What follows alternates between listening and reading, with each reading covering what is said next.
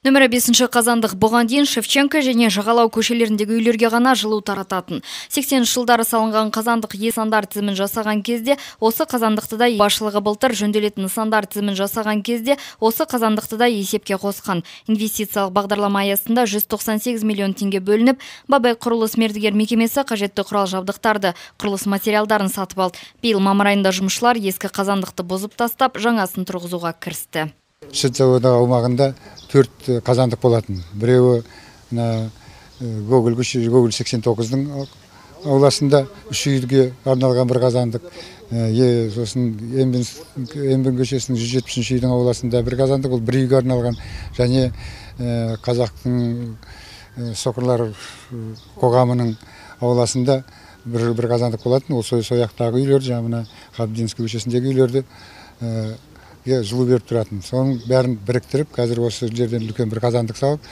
бір, бір жерден жылу беретіндей қылып дайындап жатырмыз.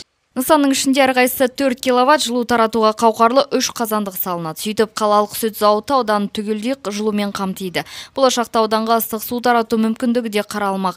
Трансэнерго акционерлік қоғамы бас инженерінің орынбасары Айтпай Дауылбаев қазандық жылыту маусымы басталғанша дайын болады деді.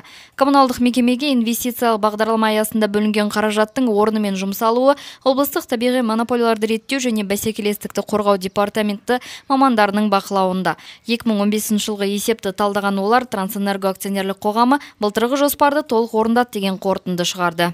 Трансэнерго было реконструировано 11,6 километров тепловых сетей. Инвестициялық бағдарламалар аясында Трансэнерго акционерлік қоғамы өткен жылы 11 бүтін оннан алты шақырым жылу желісімен екі қазандықты жөндеген 3 миллиард 223 миллион теңге жұмсалды. Құбырлардың тек 400 метрін мекеме өз қаржысына жаңартты. Жөндеу жұмыстарының басым бөлігі нұрлы жол бағдарламасы арқылы ұлттық қордан бөлінген ақшаға жасалды. Айта кету керек, коммуналдық мекеме инвестициялық бағдарламада көрсетілген міндеттерін дұрыс орындамайтын болса, табиғи монополияларды реттеу департаменті тұтынушылардың пайдасына уақытша тариф енгізуге құқылы. Гүлвира сейтенова алексей оразов тәулік.